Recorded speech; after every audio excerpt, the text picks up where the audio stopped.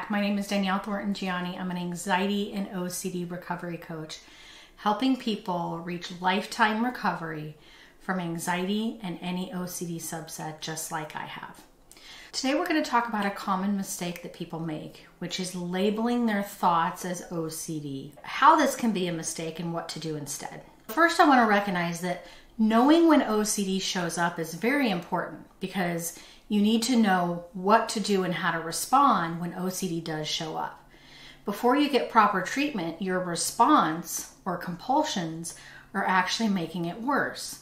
So it is very important to know when OCD is showing up and what to do so that you can quiet OCD more and more over time. But labeling your thoughts as OCD can make your OCD worse.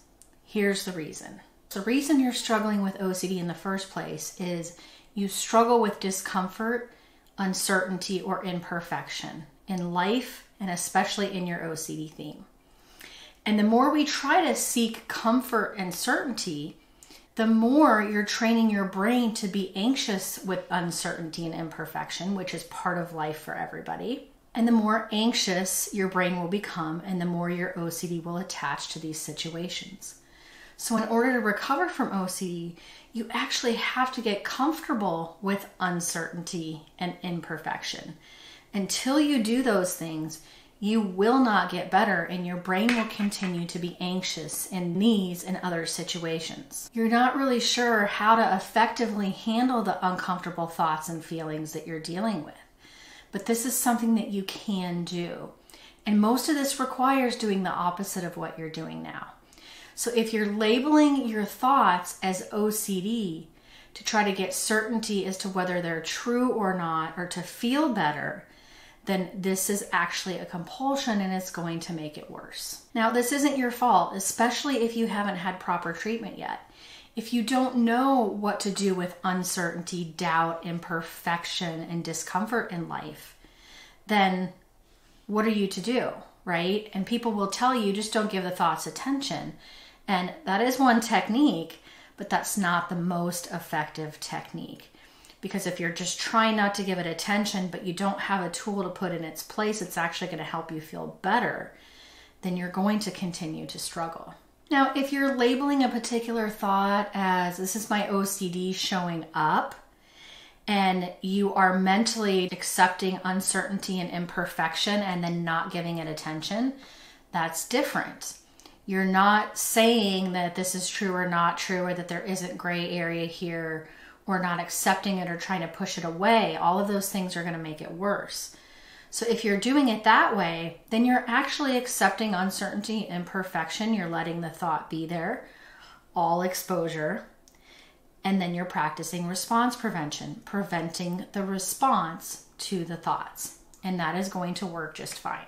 The trouble comes when we're trying to figure out if it's true or not, or if it's OCD or not, or if it's you or not. Again, the problem with this is thoughts are just thoughts, they're all your thoughts. It's just that some are fear based, some are doubt, some are uncomfortable, and some are not. And this is what matters. There's no such thing as an OCD thought. There are just thoughts that you then start obsessing and compulsing about. OCD is obsessions and compulsions. It's not a thought or feeling. So, OCD is your response, which is why you can eliminate OCD from your life by changing your response. You can't eliminate fear based thoughts, doubtful thoughts, discomfort, and imperfection in life which is why my recovery programs and the real method works so well is because I teach you how to respond to fear, discomfort, doubt, uncertainty, and imperfection in life, whether it's OCD or not. And when you use the tools that I teach you, OCD will fade away and you will be able to deal with doubt and uncertainty in the way that everybody else without OCD does and OCD will stop attaching to things. The reason why trying to give your brain certainty or label something as OCD or not, or try to get rid of it, or try to figure out if it's true or not, the reason why these compulsions don't work is because your brain right now, when it's in an anxious state, it thinks that safety is certainty and perfection. These don't exist. Certainty does not exist about anything, and either does perfection. They're not possible. So when your brain gets a hit of certainty, if you get a certain thought and you're like, oh, that's just OCD, it can often fade away and you may feel better in the short term. In the long term, your brain's just going to doubt again because it's going to continue to seek that certainty and perfection. It's going to continue to be hyper vigilant of what's going on and scanning for danger in your environment. So, those are the things that you have to stop.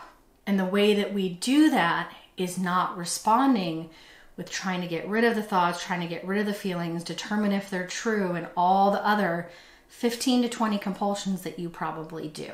Let's talk about what you do instead of labeling your thoughts as OCD or not.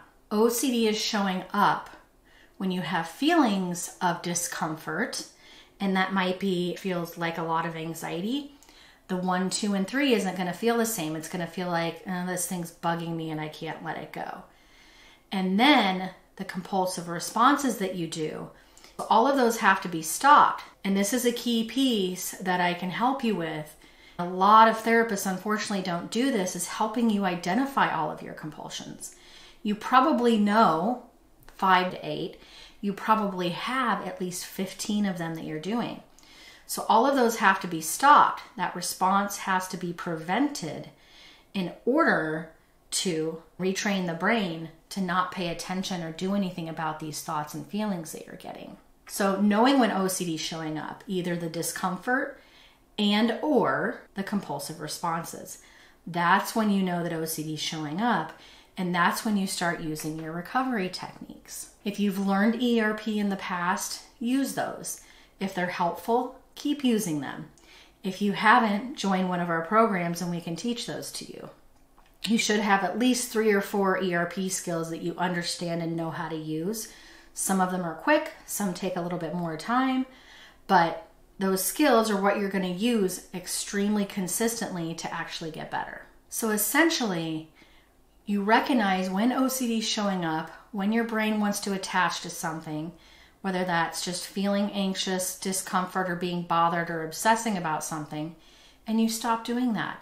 And when you stop obsessing and you stop compulsions, OCD stops. I haven't struggled with OCD in a few years because I've learned the tools, I've identified all my compulsions, I've gotten them to zero, and I make this a way of life.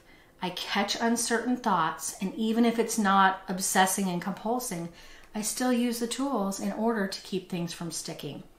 I've never seen this not work. My method will teach you exactly what to do. Check out the link in the description below if you want help, and we'll talk to you very soon.